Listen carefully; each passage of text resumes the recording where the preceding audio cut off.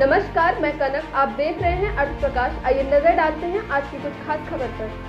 IT park थाना police ने देर रात तीन युवकों को गिरफ़्तार किया है, जो कि खुद को नकला नकली सी वाले बता रहे थे।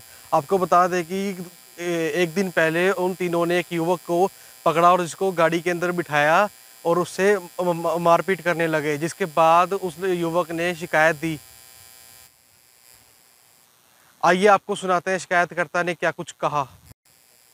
तो सुना आपने, ये थे शिकायतकर्ता अमित, जिन्होंने बताया कि मुझे गाड़ी के अंदर बिठाया और मेरे से मारपीट करने लगे और मेरे से कुछ पैसे लिए और पेट्रोल वगैरह भी डलवाया।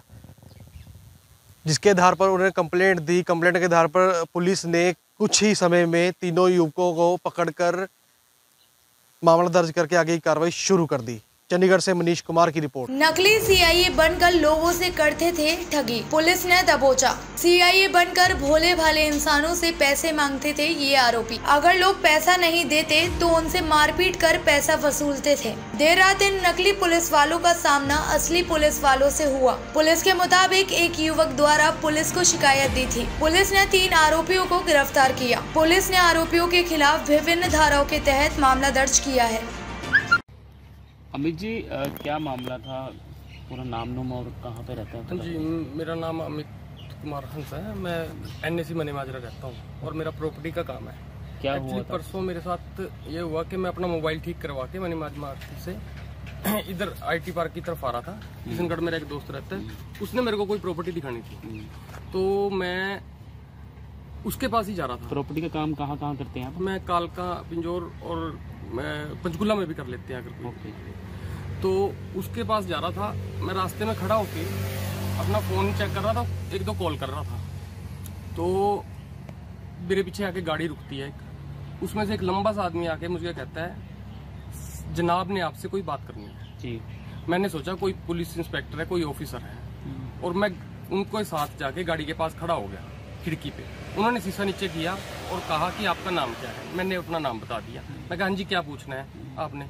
कहता उन्होंने मेरे को बोला कि आपका किसी पर्चे में नाम है। तो मैंने उनसे कहा नहीं जी मेरा तो किसी पर्चे में नाम नहीं है। वो कह रहे बैठो अंदर इंक्वायरी करनी है। मैं जैसे ही गाड़ी में बैठा जी वो मेरे साथ जो लंबा सा लड़का मेरे पास उतर के आया था हम्म। वो मेरे मेरी साइड खिड़की में बैठ के उसने खिड़की बंद करके उन्होंने गाड़ी लॉक कर ली। और उन्होंने कहा स्टाफ है क्राइम ब्रांच से हैं और आपके खिलाफ कोई केस है हम आपको क्राइम ब्रांच लेके जा रहे हैं। फिर कहाँ लेके गए आपको वो? कहीं नहीं लेके गए जी आईटी पार्क में ही घुमा रहे थे यहीं पे। यहीं से इधर से घुमा के गाड़ी इधर गया। ठीक है। मेरे मारने पीटना शुरू कर दिया। अच्छा मारा भी था आपको? मारा था जी मेरे को। दो, दो चार थप्पड़ मारे थे मेरे को। कितने लोग? थे? कौन थे? कभी पहले जानते थे आप उनको? नहीं मैं जानता नहीं था जी चार लोग थे जी। वो बस वहीं कोई नाम ले रहे थे विशाल जनाब करके सर करके बात कर रहे थे।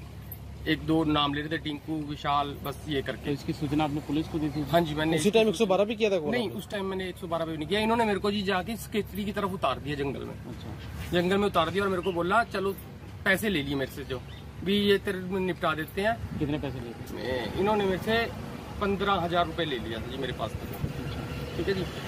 तो इन्होंने मेरे को जंगल में उतार दिया और मेरे को गाड़ी का कहा कि गाड़ी की तरफ़ ना देखियो सीधा यहाँ से निकल जा। चल तेरे को छोड़ते हैं तेरे पे पर्चा करके हमें कुछ नहीं मिलने वाला। हम्म। ठीक है? हम तेरे को फ़ोन करेंगे हमें अकाउंट में पैसे डाल देना। हम्म। मैं कही चलो ठीक है मेरे को तो वहाँ से निकलना था। मैं तो डर गया था बहुत ज़्यादा। हम्म। तो मैं वहाँ से पैदल पैदल इधर की तरफ़ आ गया किशनगढ़ चौक की तरफ़ को। वहाँ से किशनगढ़ की चौक की तरफ़ को आ गया। मैंने अपने दोस्त को फ़ोन किया। वो आके मेरे को लेके चला गया जी। वो आखिर मेरे को लेके चला गया। मैं यही सोचता रहा मैं शौक हो गया कि मैं मेरे साथ हुआ क्या है ये?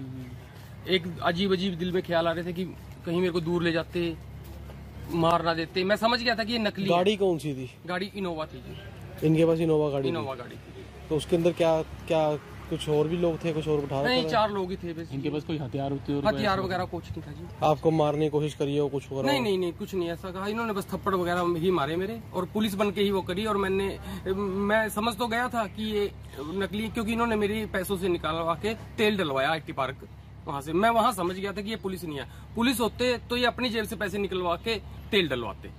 इन्होंने मेरे पैसों से तेल डलवाया। तो मैं वहीं कंप्लेंट कब दी थी? हमेशा मैंने कंप्लेंट जी अगले दिन दी है जिस दिन मेरे साथ वारदात मैं फिर घर चला गया। मैंने घर में भी किसी से बात नहीं की डर के मारे कि घर वाले घबरा जाएँगे।